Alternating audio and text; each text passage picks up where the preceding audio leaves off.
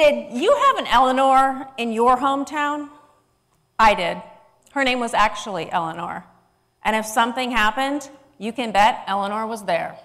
If you broke your arm, Eleanor was there in your driveway when you pulled in with your cast on. Eleanor was there for every house fire, every barn fire. Eleanor was there for every birth and every death. Eleanors. When something happens, our Eleanors are there. So, what exactly is an Eleanor? And what is the one thing that unites all Eleanors? They never show up empty handed, and they always show up. They show up with a hot casserole. And even if you don't like casseroles, an Eleanor casserole is delicious. And I know that might sound kind of weird, but those of you who have an Eleanor know exactly what I'm talking about. So, how is it that Eleanors are so effective at making us feel so good? Eleanors understand one thing food is a fundamental part of the human condition. Food is love, food is universal. It's around food that we connect as family and as friends. Indeed, if we want to share our culture with someone, we often do it through food. Part of my growing up was hearing Eleanor say, Oh, yeah, I seen yous down there looking broken, but look what I brought for yous. And there began my fascination with food and what it means for human beings. Eventually, I became a plant scientist. And while I was in college studying plant science, a new technology, genetic engineering, was taking form. For the first time, we could insert or delete genes directly into the DNA of plants. And I remember those of us studying plant science, we were so excited. But just a short while later, that scientific term, genetic engineering, began to be demonized, which made no sense to me. Soon, these three little letters were everywhere G M O.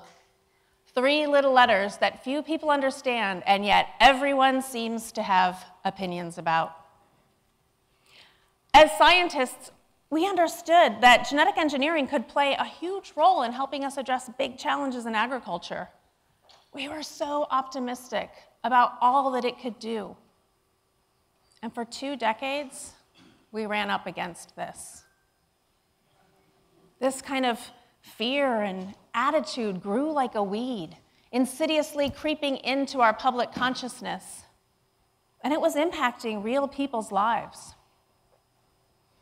It was painful to watch. Protests uh, with well fed people protesting technology that could feed more people. And it was impacting people's lives in the places where people needed it most places like Uganda, Tanzania, India, places where people suffer from inequitable access to food. It was unfair and it was unjust. I needed to do something. Eventually, I thought, if only we could hear the stories of these people who are being impacted by this intolerance. Surely people will change their minds about this technology that holds so much promise. So, fast forward, we built a global coalition of extraordinary individuals who came together to share their stories about how this activism was impacting their lives and the lives of people close to them. But we were in an uphill battle. There was just so much pushback that in the end, these technologies that could have had impact really just didn't see the light of day. Today, the majority of the GMOs out there are just corn and soybean. 80%, in fact, are corn and soybean. And these are crops that largely feed cars and cows, not people. So while we did bring together an amazing global coalition of science storytellers, we had not really won the battle to realize the true potential that GMOs could have on the world. Meanwhile, societal challenges just continued to grow. But then, a game changer. In 2010, a new technology came on, eh, online, a technology that could do even more, a technology that could help address human disease and give the plants the kind of boon it needed to feed the many in the face of climate change. But this time, I was afraid. I had seen how people can fear technology. And this isn't anything new. Technophobia has been with us for all of history, from Socrates resisting the written word to campaigns against artificial ice when refrigeration was invented to 5G today. Yes, I was afraid. I was afraid that this was Act Two of the same technophobia story. But here's the amazing thing I was wrong. The science and research showed that I was wrong. Public consciousness had shifted on how science and innovation can help us solve real problems. So, what is this technology that I'm talking about? It's called CRISPR. And CRISPR stands for clustered, regularly interspaced short palindromic repeats. And that mouthful is evidence that scientists could use a little help naming their discoveries. CRISPR can bring benefits, so many benefits to all of us. CRISPR is revolutionizing human therapeutics, curing diseases, horrible diseases like sickle cell anemia. And CRISPR is opening up our ability to breed more climate resilient plants at the pace that is needed during these urgent times. CRISPR is different than GMO. With CRISPR, we can make small, super smart changes in a plant's own genome to give it a desired characteristic.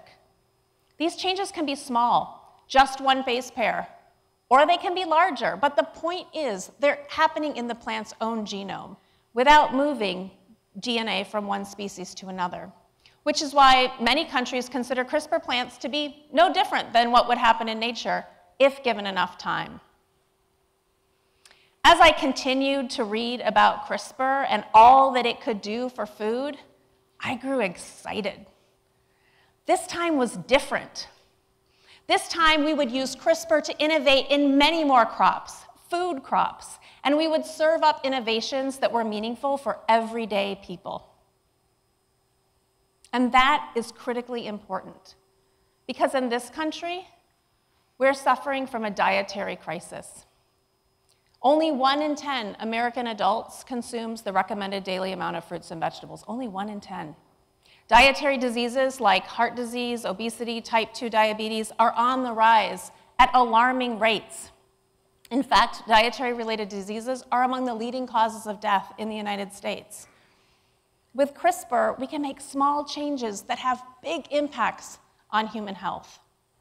With CRISPR, we can produce not just more calories, but higher quality calories.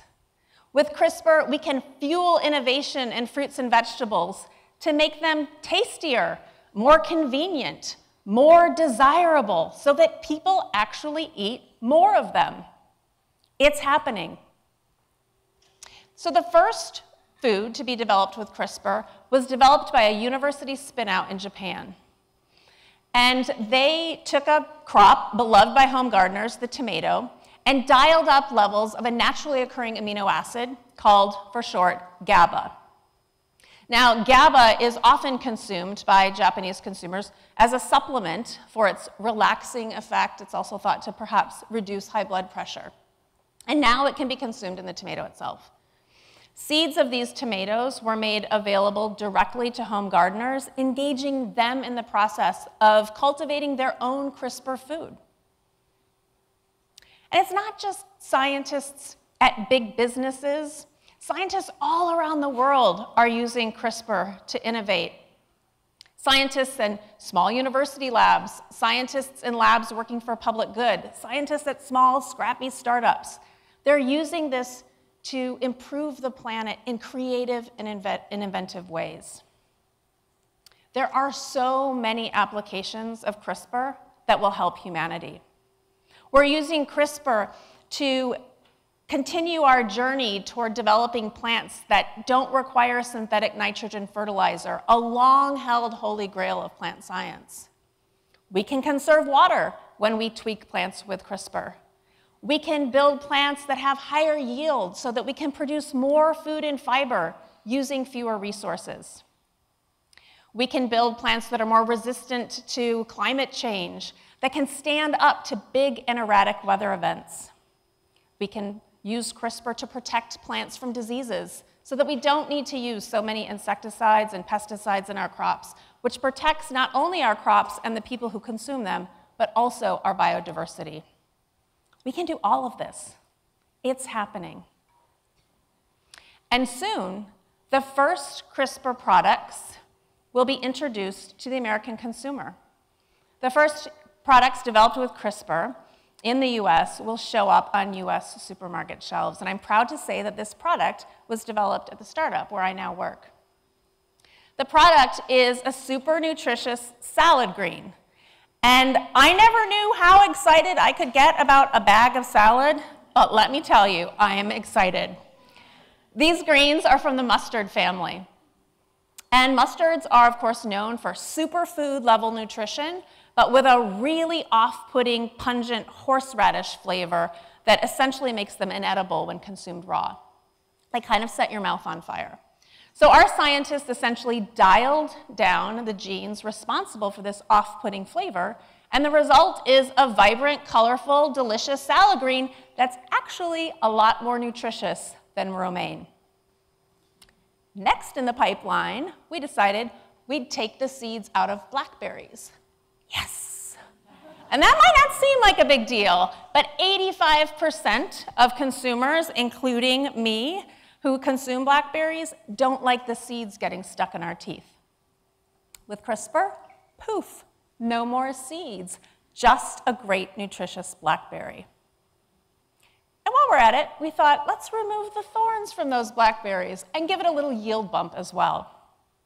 We're removing the barriers that prevent people from wanting to consume more fruits and vegetables. And that's critically important in a country that struggles with a healthy diet. But it's not just about individuals and their preferences. CRISPR can also be used to reduce food waste, which is important for the purse and the planet. On the production side, we can use CRISPR to reduce crop loss in the field, as well as optimize harvest time. On the consumer side, extending shelf life means less waste en route to consumers, as well as less waste in our refrigerators. Already, under development at various institutions around the world are things like non browning mushrooms, non browning avocados. Who doesn't want that? And soon, consumers will have access to longer lasting bananas and strawberries. It's happening. As I look back on that old GMO food fight, sometimes it felt intractable, like we weren't really making a difference. But we did. We advanced science communication. We started a conversation that opened people's minds to the next plant science innovation. And in small ways, I like to think we helped pave the way for CRISPR. But now, we're in a new moment.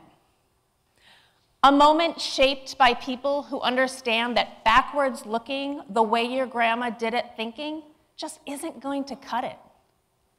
People who understand that if we're going to get off of this food and climate change collision course, we have got to embrace technologies that are going to have impact.